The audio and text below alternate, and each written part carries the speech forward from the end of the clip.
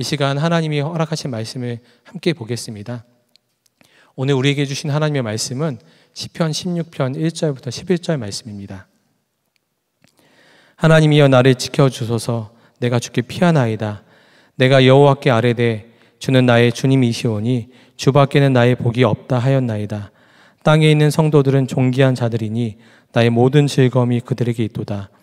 다른 신에게 예물을 드리는 자는 괴로움이 더할 것이라. 나는 그들이 드리는 피의 전제를 드리지 아니하며 내 입술로 그 이름도 부르지 아니하리로다. 여호와는 나의 산업과 나의 잔의 소득이시니 나의 분깃을 지키시나이다. 내게 줄로 재어준 구역은 아름다운 곳에 있으며 나의 기업이 실로 아름답도다. 나를 훈계하신 여호와를 송축할지라 밤마다 내 양심이 나를 교훈하도다. 내가 여호와를 항상 내 앞에 모심이요 그가 나의 오른쪽에 계심으로 내가 흔들리지 아니하리로다. 이러므로 나의 마음이 기쁘고 나의 영도 즐거워하며 내 육체도 안전히 살리니 이는 주께서 내 영혼을 수월에 버리지 아니하시며 죄의 거룩한 자를 멸망시키지 않으실 것임이니이다. 주께서 생명의 길에 내게 보이시리니 주의 앞에는 충만한 기쁨이 있고 주의 오른쪽에는 영원한 즐거움이 있나이다. 아멘. 하나님의 말씀입니다. 한 번은 제가 섬기는 갈래교회 지역장 밴드를 줌으로 진행한 적이 있었습니다. 우리 지역장님 중에 한 분께서 삶을 나눠주시는데 어, 성도들과 만나서 교제하지 못하고 또 마음껏 나와서 예배하지 못하는 여러 가지 상황 때문에 마음에 우울감이 왔다라는 이야기를 해 주셨습니다. 아, 그 이야기를 들으면서 참 안타깝기도 하고 참 가슴이 아팠습니다. 왜냐하면 그 지역장님은 누가 봐도 정말 믿음이 좋으시고 신실한 주의 종이셨기 때문입니다. 아, 그런 믿음의 사람마저도 이런 상황에 우울감을 느끼고 마음에 낙심이 오고 또 마음에 어, 좌절이 온다라는 그 이야기 들으면서 우리 성도님들이 겪고 있는 이 상황이 얼마나 안타깝고 또 가슴이 아픈지 몰랐습니다. 우리는 참 어려운 시대를 지금 보내고 있습니다. 어, 정말 하나님을 예배하고 또 성도들과 만나서 깊은 교제를 나누기를 원하는데 여러 가지 여건 때문에 그러지 못하는 상황 가운데 있습니다. 예배가 여러 가지로 어렵고 또 성도들과 교제가 막히다 보니까 성도들 가운데 개인적인 문제로 인해서 신음하고 또 고통 가운데 있으면서도 누가 마음 털어놓고 얘기하지 못하고 또 눈물로 기도하지 못하는 이 상황이 오래 지속되다 보니까 마음이 낙심이 오고 좌절이 오고 이 문제에서 어떻게 해결할지 몰라서 참 어려운 시기를 보내고 있는 이들이 있습니다.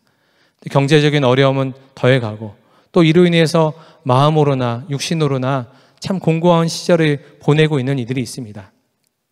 우리의 여건과 상황은 다 다르지만 우리가 정말 믿음을 지키기가 어려운 시대를 살고 있는 것은 분명한 것 같습니다. 이때 우리의 믿음이 어떻게 더 주님께 나아가고 흔들리지 않는 믿음으로 나아갈 수 있는지 하나님께서는 오늘 시편 16편 말씀을 통해서 우리에게 이 말씀을 주시기를 원하십니다. 오늘 시편 16편에 기록한 다윗의 상황도 정말 만만치 않은 상황이었습니다. 오늘 1절 말씀만 봐도 다윗의 상황이 얼마나 절박한지를 알 수 있게 됩니다. 1절에 그가 하나님이여 나를 지켜주소서라고 고백합니다. 하나님, 나를 지켜주십시오. 이렇게 고백할 수밖에 없는 상황이 다윗의 처지였습니다. 실제로 다윗만큼 어렵고 힘든 시기를 오랜 시간 동안 지내온 사람이 많지 않습니다. 다윗은 왕이 되기 전에 무려 10년 동안 사울 왕으로부터 도망 다녀야 되는 신세였습니다.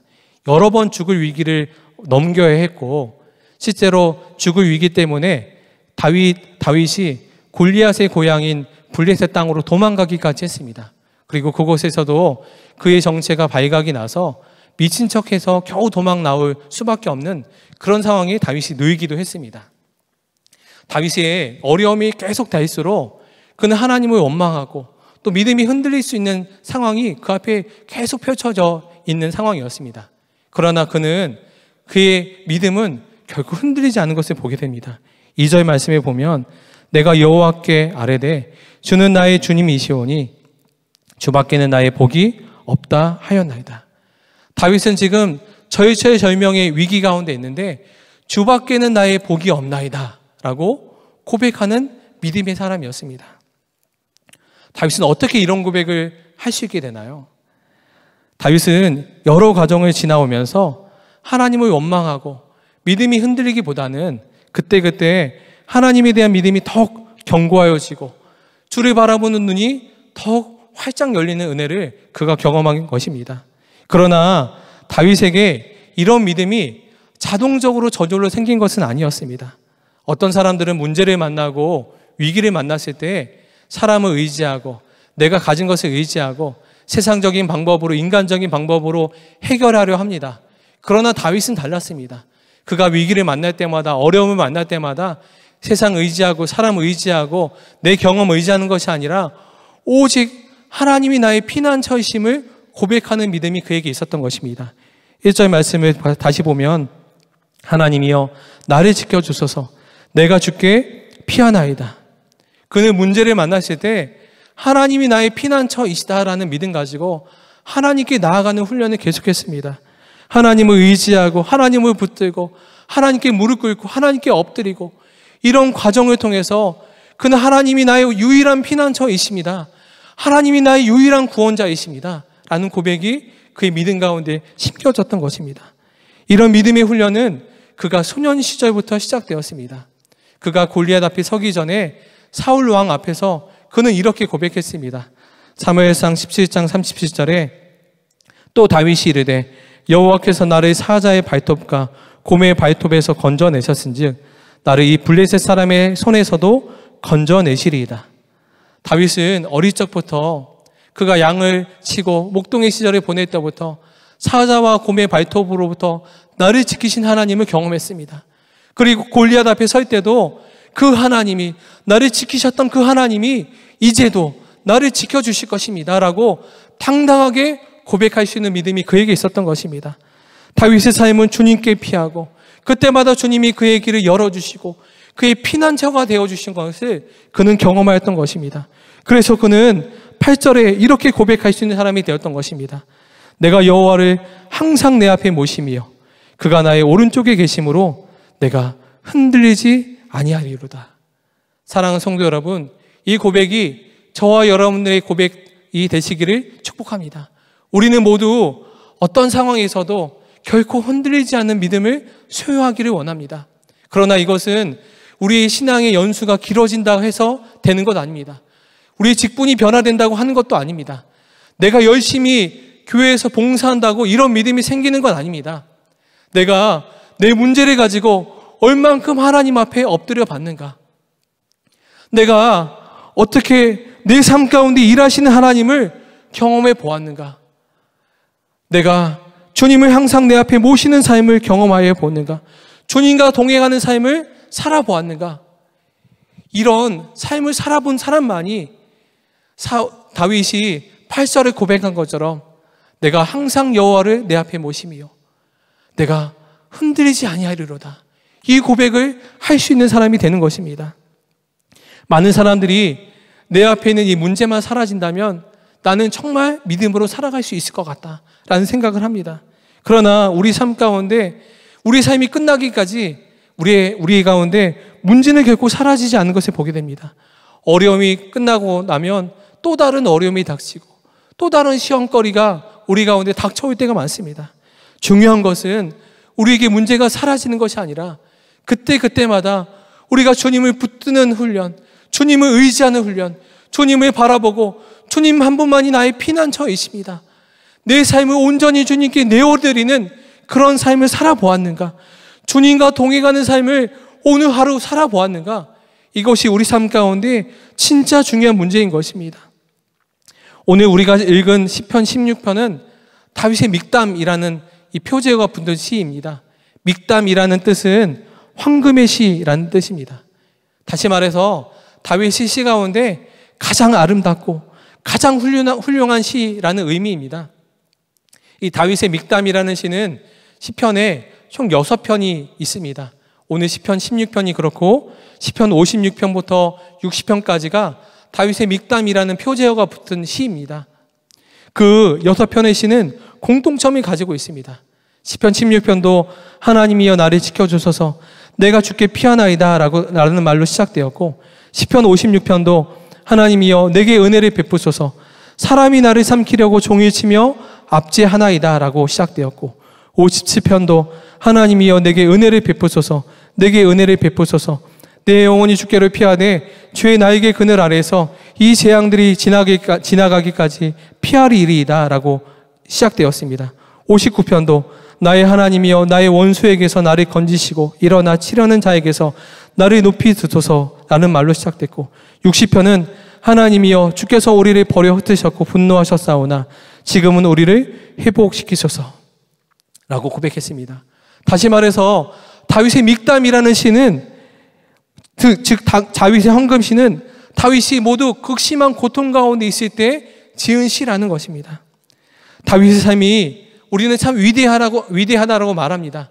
그런다 그의 삶이 위대한 것은 그의 삶 가운데 아무런 문제가 없이 탄탄대로의 삶을 살았기 때문에 그의 삶이 위, 위대한 것이 아니라 그가 고난이 닥치고 어려움이 닥치고 죽을 위험에 닥쳤을 때 오직 하나님 한 분만이 나의 도움이시고 그분만이 나의 피난처이십니다. 라는 믿음을 가지고 주님께 엎드리고 그때마다 하나님의 도우심을 경험하였기 때문에 그의 삶이 위대하다 말할 수 있는 것입니다. 사랑하는 성도 여러분, 우리도 다윗과 같이 그러한 삶을 살게 되기를 축복합니다. 우리에게 어려움이 닥치고 위기가 닥쳤을 때 오히려 하나님을 깊이 만나는 시기로 여러분들 삼으시게 되기를 축복합니다. 엘리자, 엘리, 엘, 엘리자베스 엘리어 선교사님이 계십니다. 그는 남편 질, 짐 엘리어 선교사님을 선교지에서 2년 만에 잃게 되었습니다.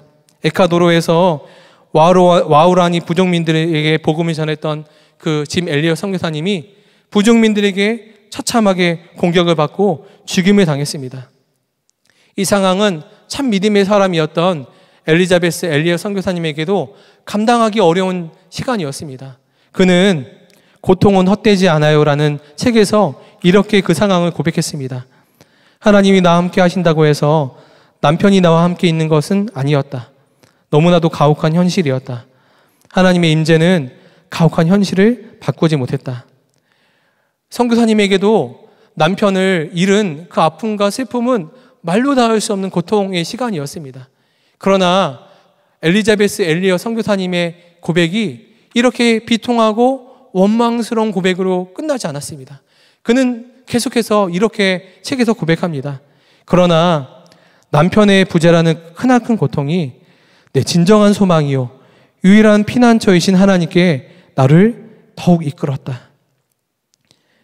엘리자베스 엘리어 선교사님은 이런 고백으로 그 모든 슬픔에서 이겼습니다. 그리고 그 슬픔을 뒤로하고 남편의 목숨을 빼앗아간 그 부족에게로 다시 나아가서 그 뒤로도 16년간 귀하게 그 성교의 사명을 감당하셨습니다.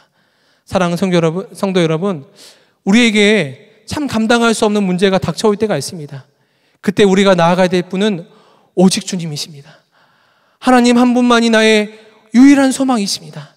나의 피난처이십니다. 그 믿음으로 나아가시는 여러분들 되시기를 축복합니다. 다윗은 이 믿음 가지고 8절에 고백한 처럼 내가 여호와를 항상 내 앞에 모시며 라고 고백했습니다. 다윗은 한순간도 주의 이름을 부르지 않으면 주와 동행하지 않으면 감당할 수 없는 상황 가운데 놓여 있었던 것입니다. 그러나 이 상황이 그에게는 절망이요, 낙심이요, 아픔의 시간이 아니라 항상 주님을 모실 수밖에 없는 상황 때문에 더욱 주님을 붙들었고 더욱 주님을 의지할 수 있는 사람으로 그가 변화되었던 사람이 되었습니다. 사랑하는 성도, 성도 여러분, 그런 은혜를 누리시는 저와 여러분들 되시게 되기를 축복합니다. 지금 고통과 눈물의 시간을 보내고 계십니까? 더욱 주님을 붙드시는 시간으로 삼으시게 되기를 바랍니다. 하루라도, 한순간도 주의 이름을 부를 수 없는 이 시간이 세상의, 세상 사람들의 눈에 봤을 때는 불쌍하고 철학하고 안타까운 눈으로 우리를 바라볼 수 있지만 우리는 더욱 주님을 의지할 수 있는 시간이기에 시간이 지나고 이 시간을 돌아봤을 때 그 시간 때문에 그 아픔 때문에 더욱 주님을 의지하게 되었다 고백하는 그 승리의 고백과 믿음의 고백이 우리 모두에게 심겨지게 될 줄 믿습니다.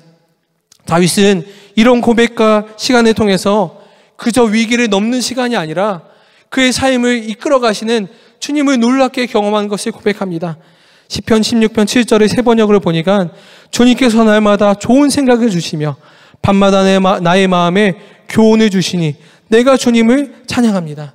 그는 절망 가운데 있었지만 그 절망을 그저 이길 정도가 아니라 그가 엎드려 기도하고 아, 주님 앞에 나아갈 때마다 하나님께서 그에게 좋은 생각을 주시고 밤마다 그에게 교훈을 주셔서 순종할 제목을 주시고 또 나아갈 길을 그에게 친히 열어가시는 것을 경험하였습니다. 그리고 그는 그 위기를 넘겨서 날마다 주님 주시는 충만한 기쁨으로 그의 삶이 채워지는 것을 경험하였습니다. 11절에 주께서 생명의 길을 내게 보이시리니 주의 앞에는 충만한 기쁨이 있고 주의 오른쪽에는 영원한 즐거움이 있나이다. 다윗에게 있어서 생명의 길은 주님과 동행하는 길이었습니다. 어려움이 없어서가 아니라 생명의 근원 되시는 주님이 그와 함께 있사오니 그의 삶 가운데 여전히 고난이 있고 아픔이 있지만 주님 바라보다 가다 보면 그 길이 그 길 자체가 생명 생명의 길인 것이고 주님과 함께 걸어가는 그 길이 내게 가장 큰 기쁨이요 가장 큰 감격의 시간이다 고백할 수 있는 그 은혜의 고백이 다윗에게 있었던 것입니다. 사랑하는 성도 여러분, 이 놀라운 고백이 저와 여러분들에게 회복되기를 축복합니다. 스탠리, 스탠리 존스 선교사님이 순례자의 노래에 이런 고백을 하신 적이 있습니다. 스탠리 존스 선교사님이 6개월간 전도 여행을 떠날 때가 있었습니다. 그때 참 두려움이 있었고 참 마음에 답답한 마음이 있었던 때에 메리 웹스터라는 한 소녀가 자매가 그에게 그 선교사님에게 한 쪽지로 쪽지를 건네 주었습니다. 그 쪽지에는 이렇게 적혀 있었습니다. 선교사님, 예수님과 함께 재미있게 노세요. 선교사님이 이 편지를 보면서 전도 여행을 떠나는 사람에게 하는 말로는 너무 경박한 말처럼 이 예수님과 함께 재미있게 노세요라는 말이 들렸습니다. 그런데 이 이야기를 곱씹으면 곱씹을수록 생각하면 생각할수록 이 그녀의 말이 참 진리다라는 생각을 하게 되었습니다. 그리고 책에 이렇게 고백했습니다. 이 말은 내가 그리스인이 되어 누리고 있는 것을 정확히 꽃집은 것이다. 나는 재미를 누리고 있다. 예수와 함께하는 재미를 그리스인이 되는 것은 재미있는 일이다. 라고 선교자의 순례자의 노래라는 책에서 선교사님이 고백했습니다. 사랑하는 성도 여러분, 우리에게도 이런 믿음의 눈이 열려지게 되기를 축복합니다. 오늘 하루를 살아갈 때 주와 동행하는 삶을 살아갈 때 주님과 함께 노는 마음으로 살아보시게 되기를 축복합니다. 산골짜기를 지나갔던 상황, 황량한 들판을 지나가고 있는 상황을 시간을 보내고 있는 상황 가운데 있을지라도 사랑하는 주님과 함께하는 이 시간이 주님과 함께 행복하고 즐겁고 복되고 기쁜 시간이다. 이런 영적인 감각으로 오늘 하루를 살아갈 때 항상 주님을 내 앞에 모시며 고백했던 다윗의 고백을 가지고 오늘 하루를 살아갈 때 흔들리지 아니하리로다 고백했던 이 다윗의 고백이 우리 삶 가운데 분명하게 자리 잡게 될 줄 믿습니다. 이 고백이 우리의 삶의 여정 가운데 계속해서 증거되기를 간절히 소망합니다. 이 시간 이 기도 제목 붙잡고 우리가 기도하게 되기를 원합니다. 이 시간 먼저 1절 말씀 하나님이여 나를 지켜주소서 내가 죽게 피하나이다. 이 고백 가지고서 우리가 기도하게 되길 원합니다.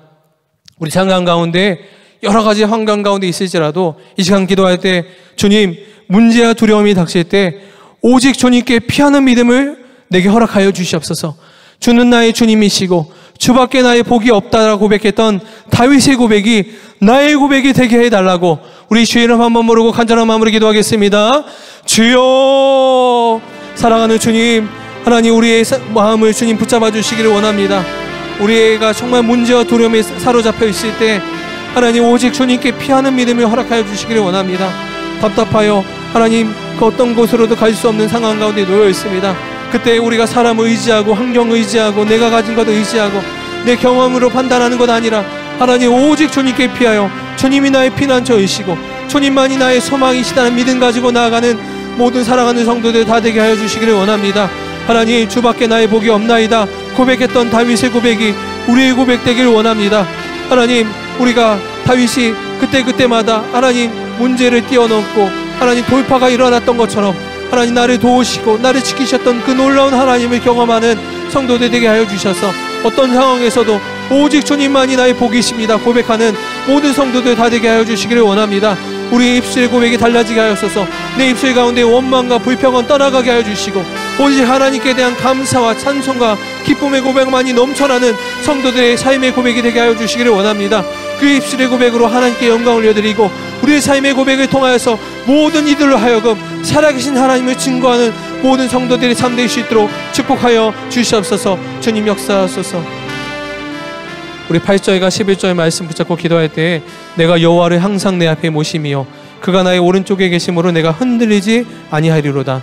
주께서 생명의 길을 내게 보이시리니 주의 앞에는 충만한 기쁨이 있고 주의 오른쪽에는 영원한 즐거움이 있나이다. 이 시간 이 말씀 붙잡고 기도할 때 주님 사랑하는 주님과 항상 동행하는 삶을 살게 하여 주실 때 우리가 주님과 동행함으로 말미암아 어떤 상황에서도 흔들리지 않는 믿음을 갖게 하여 주시옵소서. 주님과 함께 걸어가는 이 길 속에서 기쁨과 즐거움을 날마다 누리고 그 즐거움을 누리, 누릴 뿐만 아니라 그 즐거움을 전하여서 세상 사람들에게 살아계신 하나님을 전하는 믿음의 증인으로 세움받게 하여 주시옵소서. 이 기도 제목 붙잡고 다시 한번 주의 이름 한번 부르고 기도하며 계속해서 깊은 기도의 자리로 나가게 되길 원합니다. 주여 살아계신 하나님 이 시간 우리 가운데 오직 하나님 한 분만을 사모하며 주님과 동행하는 것에 우리의 유일한 소망으로 삼게 되는 은혜를 누리게 되길 원합니다. 사랑하는 주님과 항상 동행하며 살아갈 때 어떤 상황 가운데서도 우리의 믿음이 흔들리지 아니하고 오직 한 분 대신 주님만 바라보면서 하나님 오직 감사로 기쁨으로 믿음으로 결단하며 나아가는 모든 성도들 다 될 수 있도록 축복하여 주시옵소서. 그 길이 우리에게 가장 안전한 길이고 가장 복된 길인 것을 고백하는 성도 되게 하여 주시옵시고 실제적인 간증과 고백이 넘쳐나게 하여 주시옵소서. 그 길을 통해서 주님과 동행하는 길을 통해서 황량한 들판을 걸어가는 상황 가운데 놓일지라도 허무한 산을 넘는 그런 상황 가운데 놓일 수 있으라도 주님으로 말미암아 기쁨이 끊이지 아니하고 감사가 끊이지 않은 그런 성도들의 삶되게 하여 주시옵시고 하나님 그런 삶을 통해서 살아계신 주님을 증거하고 하나님 전하는 복되고 아름다운 삶으로 우리를 인도하여 주시옵소서